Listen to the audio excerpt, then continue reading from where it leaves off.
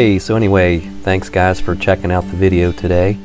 Um, as you saw, I'm riding with the group today, which is a little rare for me, but this is the group that I mentioned in a video um, a while back, a couple, maybe two videos ago, that I started looking, searching for some local ride groups here in the, you know, my city, Cincinnati, Ohio kind of area.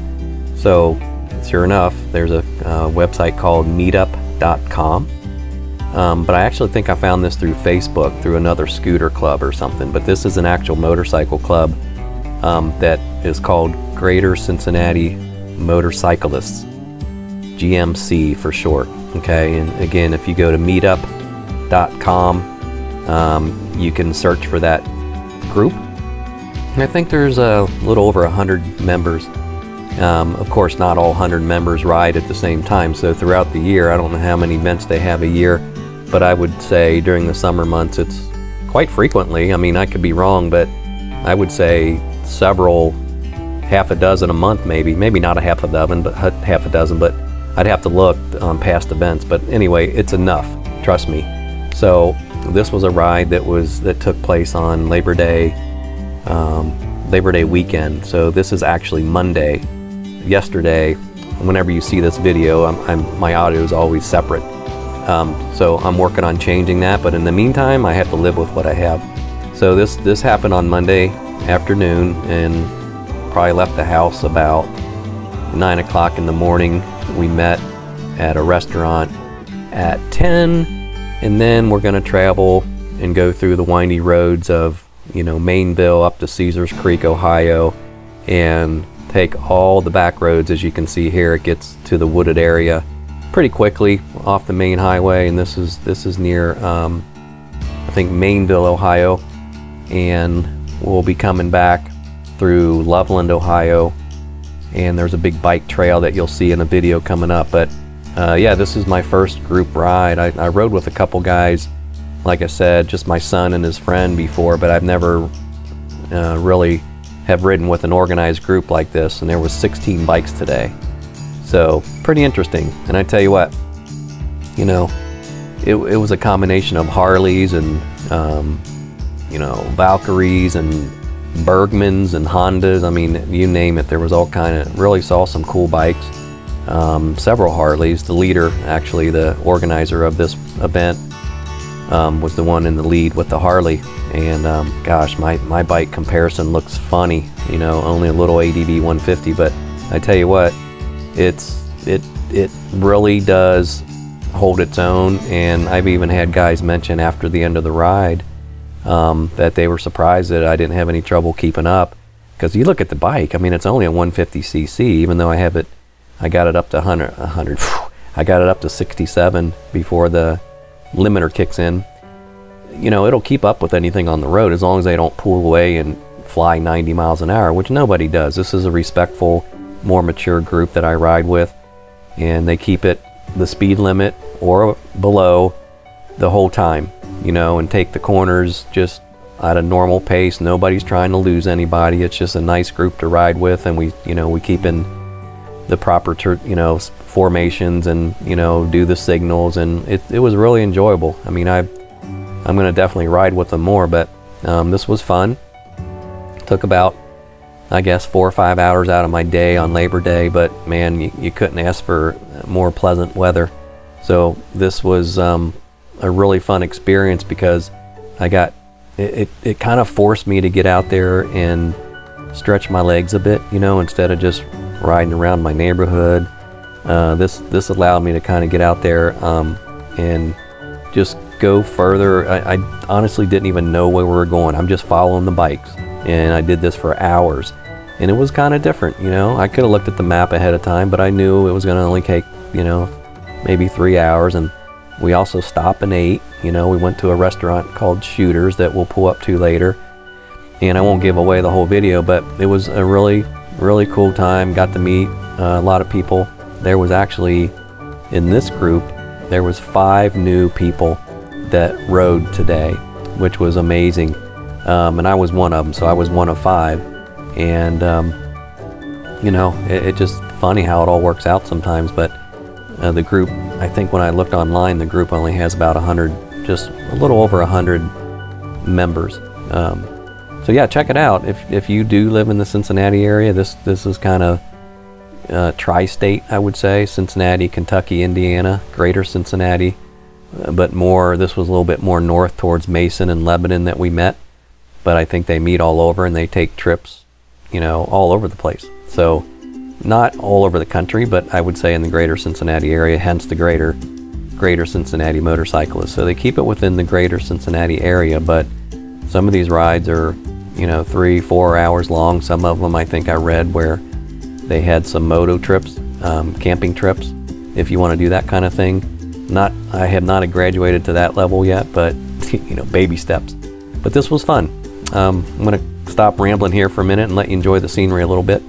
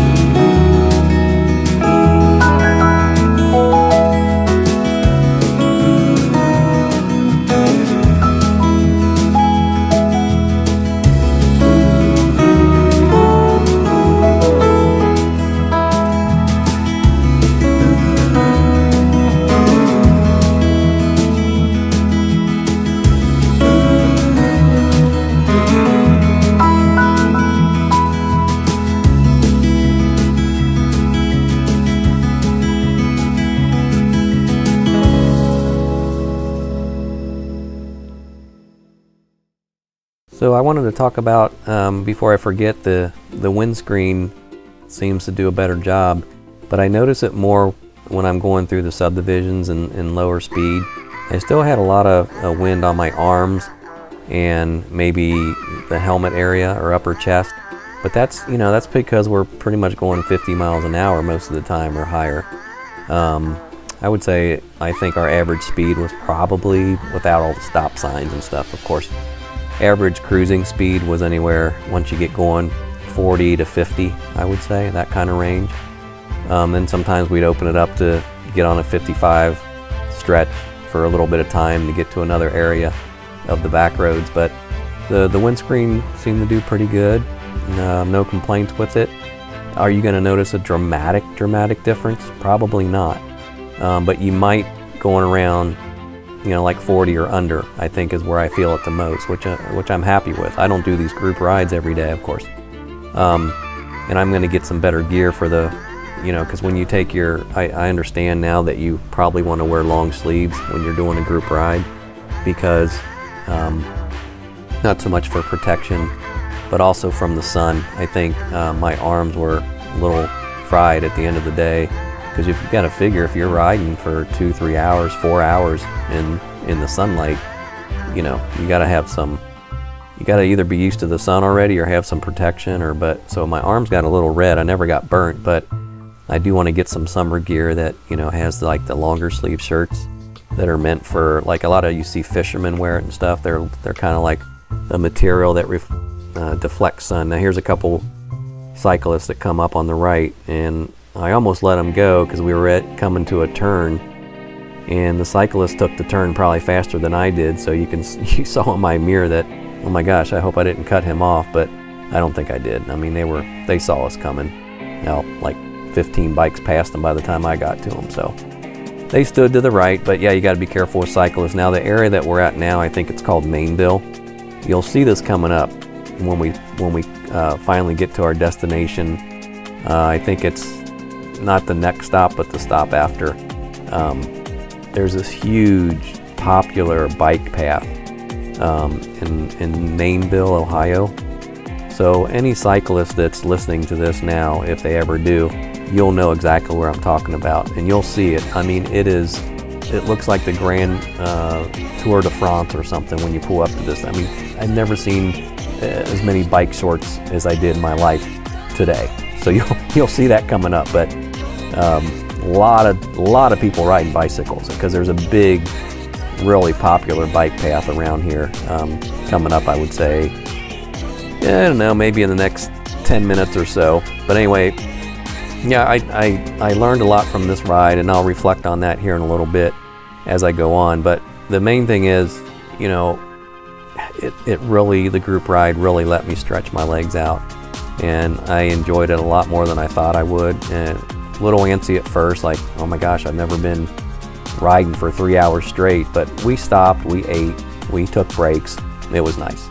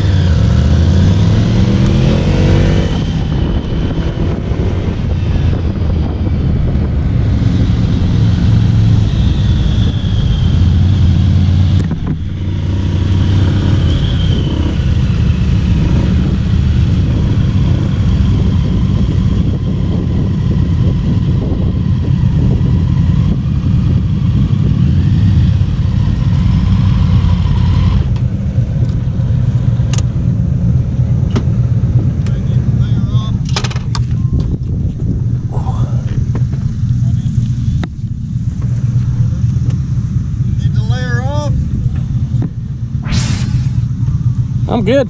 Feels good.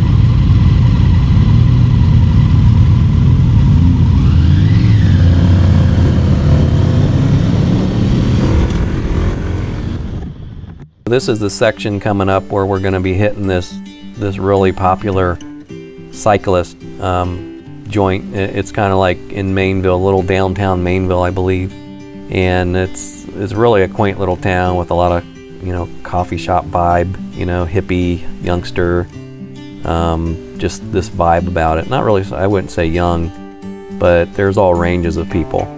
So it's just a kind of a unique part of the city where a lot of cyclists um, get together. And like I said, I, I've not seen as many bike shorts than, than even if I was at the Tour de France. It was crazy, but it's a beautiful, you know, day. It's it's uh, Labor Day weekend, um, and the people come out in droves to ride bikes because it is really cool bike trail, cyclist trail. Um, I'll try to find the name and put the link, but most people watching my channel are not really into riding bicycles, so I get it. It's probably a moot point. Um, but if I find it, I'll post it on here later um, or under the description. But anyway, um, yeah, a lot of people, a lot of crowds, um, a lot of people walking and biking the path, and that's what we're going to be driving up to here shortly. So you'll get a you'll get a chance to see the little city of Maineville, Ohio, um, the little quaint little town after we get uh, through a little bit of farmland here. But overall, it was a nice ride, and I thoroughly enjoyed it. Learned a lot from the ride. Um, but here's the little town of Maineville, and I don't know the population. I'm not into all the stats, and you know, get enough of that when I watch baseball. So, but it's a small town, and we pull up here pretty much just a, there's a restroom up here, and we're gonna stop and take a break, and you know, have people relieve if they need to. Um, but not everybody did. Yeah, I'm just not used to riding for more than, you know, I think the longest I've ever ridden this ADV 150 was maybe an hour tops. So this is very, uh, very different for me, but it, it was full. It was cool, I should say, not full. Anyway, here's the ride coming up where we pull over and check out the scenery.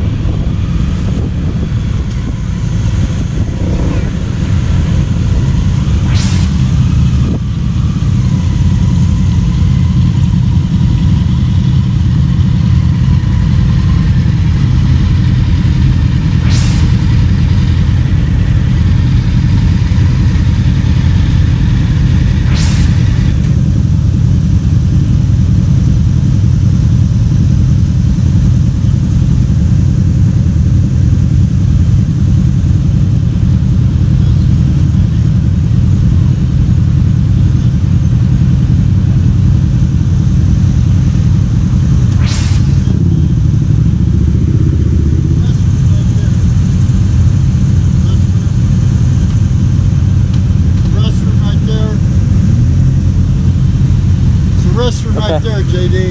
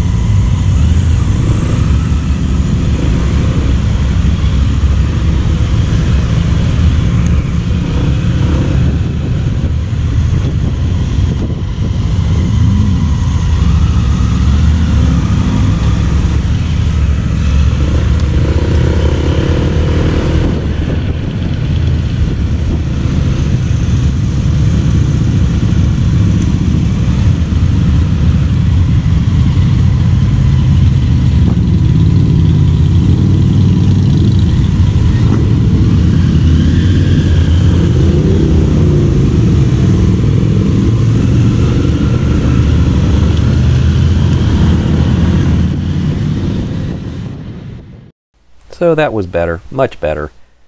You know, when you ride for a couple hours, I don't think it was even two hours. I would say we were probably on the road maybe an hour before we stopped, um, maybe an hour and a half. So yeah, I think um, several people had to use the, bathroom and things like that.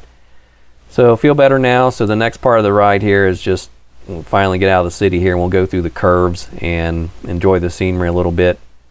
Um, and that's that's a really fun part of the ride here coming up right now.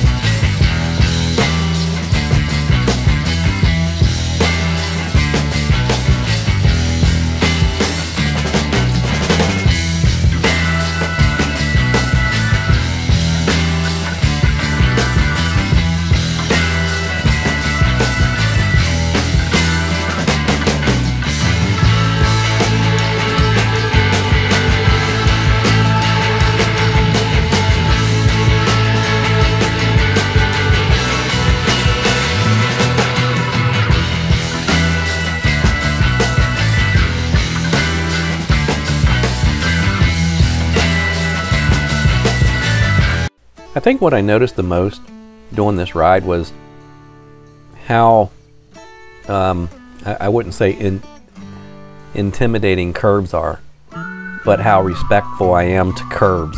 Meaning, you gotta you gotta give them, you know, proper respect because if you're going around a curb too fast, you a lot of people tend to brake, and when when you brake, that drives them off the road.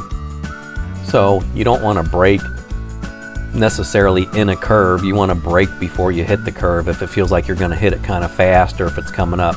So you have to be really conscious. And if you do brake in a curve, you really shouldn't do it at all. But just apply a little bit of back, back brake pressure. And, and then the problem with riding a scooter, I always forget which is the front, you know, which is the left, which is the right. So it's kind of, it's a little different than a motorcycle. So when I'm heading up to a curve and it looks like, oh my gosh, this curve looks like it's pretty tight I'll try to slow down to until I get to that curve, you know. So you don't want to be braking real hard in the apex of the curve because that's that's what that's what runs you off the road and gets you in trouble and causes sliding. So just keep that in mind. Take the curves slow, and there's no reason to go through them. You know, even in this group, uh, a few of the curves were, I would say, semi-aggressive, but not to the point where I was out of control. But they do make you think. And I think the thing I learned most about this ride, as far as a physical riding, is how to learn to kind of lean and turn into the curves a little better and the apex to turn, you know, take wide, then come in tight. You know, I, I kind of tried all kind of different things, but I think you just have to more or less anything get a feel for your own bike, whether it's a motorcycle, scooter. It's all about the feel for your own bike and curves. Just don't overdo it. Just, you know, go slow. You're in no hurry in life.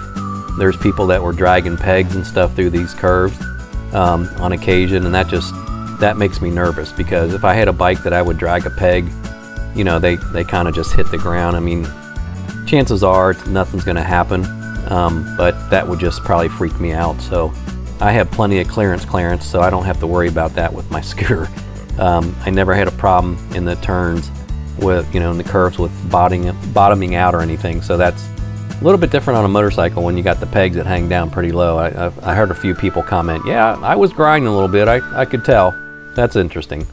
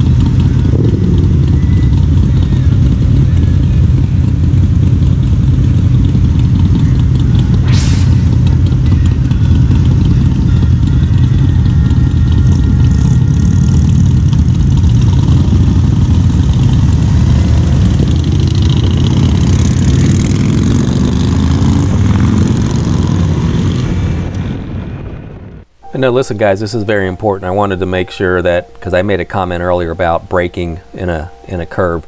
You, you don't want to brake at all in a curve unless you absolutely have to, to just kind of slow down. Just, I mean, you don't want to do it at all. But if you do, I want to make a correction that I said just only use your back brake. That is not necessarily true. Okay, so there's all kind of debate on this. What's more important is you need to know your bike, you need to get to a curve slow, and you need to brake before you hit that curve. If you don't have any other choice, then it goes on experience, applying maybe uh, gentle force on both together, but you got to be careful, and every situation's different, so it's impossible to answer. Get out there and ride, do your curve slow, and then once you gain experience, you'll know.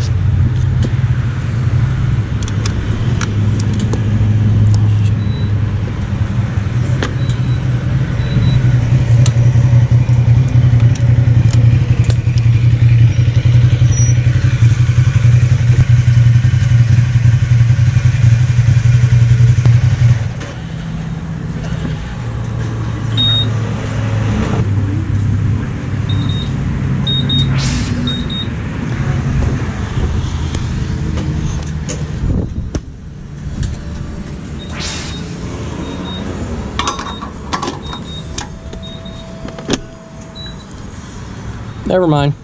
It won't take my card because of. Huh? Said it don't take my card because of the chip. I don't. I don't need it actually. I was just gonna top it off. I got plenty.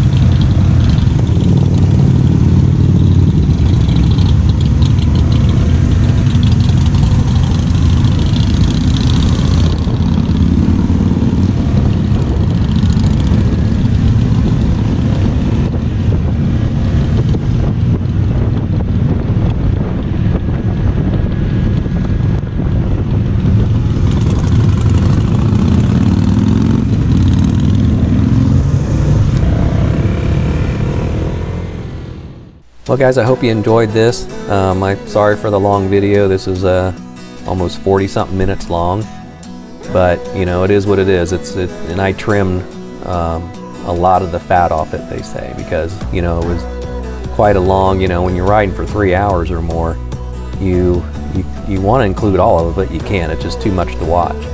So I did you know the best I could as far as the what the highlights were and you know, how we did the stops and stuff so you get the idea. But yeah, it's a little longer video, so feel free to scroll through some of it. Um, but remember to do all the stuff like subscribe and like and follow and you know, it's kind of silly to say it repeatedly, but it does help the channel. And you know, this was a long video to make, very tedious, very time consuming.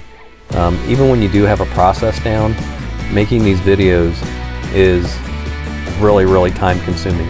You know, and I have a day job and I do this on the side, but it is time consuming. That's why you don't see a lot of YouTube channels out. Well, I should say there's billions of YouTube channels, but I'm saying um, a lot of people that ride or have an interest in adventure, bikes, cyclists, they just don't have time, you know, because a YouTube channel, I'm fortunate that I'm kind of techie, so I can pick up on this stuff and, and produce it quicker than the average person, but it, it is it is a, a, time hog. So, but anyway, enough of that. It was a great ride. Um, you know, it's it's one of those things I might do more of. At least, you know, if I do it a couple times a year. You know, the, to get into the the motorcycle club, the Greater Cincinnati Motorcyclists, I think the requirements are. I mean, it's a free thing, of course. I think the requirements are participate. You know, they just want you to participate, and it not doesn't have to be every week, doesn't have to be every ride. But I think as long as you do one or two a year, you're in good standing. Um, they just there's a limit though as far as they're not going to have you join the group and never ride or never say anything or I mean it's it's a camaraderie type thing. So if you do check out the um, the group, um, let me know. And again, they're on Meetup.com. Just search for uh, Cincinnati. Let's see, Greater Cincinnati Motorcyclist, and you'll come across it. Of course, for the people in other countries and other states, look for those around your area. Uh, meetup.com, I'm sure there's more groups out there than it, or you can search Facebook groups, okay, is another good place. But if you do want to ride with people in your area, I'm sure it's out there. You got to go after it and you got to look for it. And look at this, I just found them, what, last week? And I already went on a group ride with 16 bikes. Pretty impressive. So you got to do it. Good luck, guys, and thanks for watching again and make sure you leave a comment or two. Appreciate you.